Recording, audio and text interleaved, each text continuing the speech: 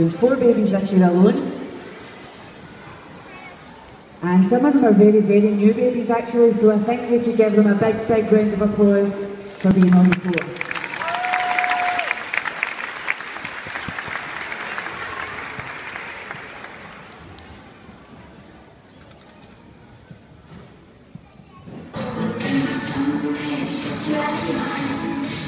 Sorry, girls.